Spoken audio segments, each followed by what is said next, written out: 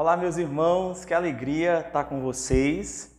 É, a partir de hoje, dessa semana, Deus tem colocado no meu coração desse novo ano, de nós, como Ministério de Adoração da Segunda Igreja, estarmos semanalmente compartilhando uma palavra com vocês, uma pequena devocional, que são meditações que também nortearão todo o nosso ministério durante esse ano de 2021.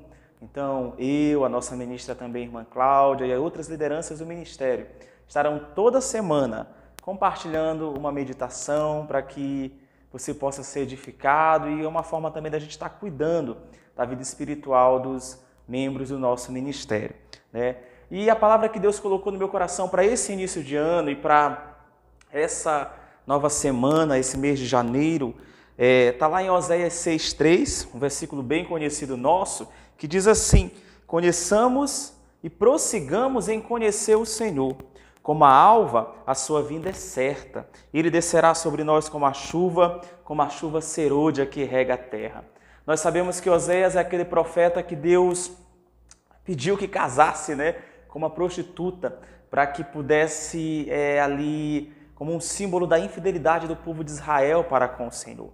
E o livro do profeta Oséias é um convite, é sempre um chamado ao arrependimento. Né? E aqui especificamente no capítulo 6, é, o Senhor fala através do seu profeta que a gente precisa buscá-lo cada vez mais, com sinceridade, para que a nossa vida possa estar mais próxima do Senhor. É interessante ver que o texto começa: Vinde, voltemos ao Senhor, porque foi Ele que nos despedaçou, mas Ele mesmo vai nos sarar.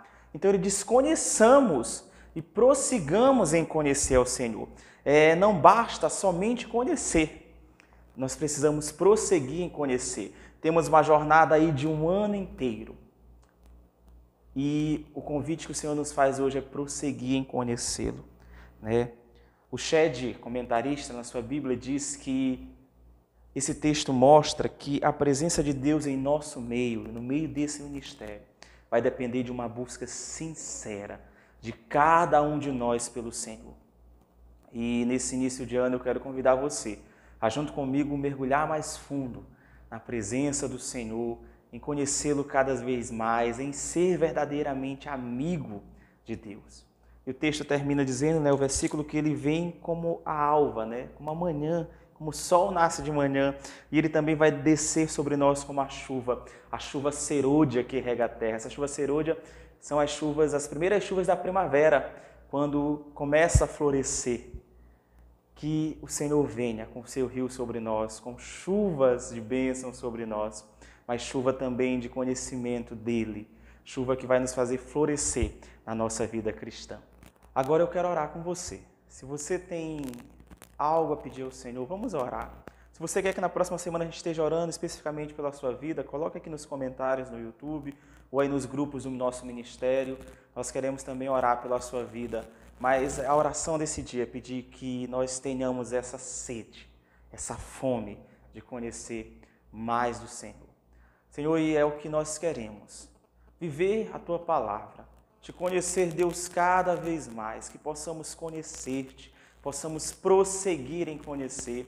Como diz uma canção que nós cantamos, nos lançar nas profundezas desse teu amor, Senhor. Que a vida desse ministério, ó Deus, seja para a tua glória, mas que para isso a gente possa viver uma vida de relacionamento, de intimidade com o Senhor. Não apenas quando cantamos, tocamos, quando nos apresentamos, mas que todos os dias a nossa vida seja de adoração, de expressões de adoração e que aquilo que nós fazemos aqui no ministério, na igreja, seja simplesmente uma consequência das expressões de adoração da nossa vida todos os dias. Vem sobre nós, ó Deus, como a chuva que rega a terra e que tudo que façamos sempre seja para a glória do Teu nome, que haja em nossos corações essa busca, essa fome, essa sede do Senhor, cada dia mais. É no nome de Jesus que nós oramos. Amém e amém. Que Deus abençoe a sua vida e nós nos encontramos na próxima semana com as devocionais do Ministério de Adoração da Segunda Igreja. Deus abençoe, querido.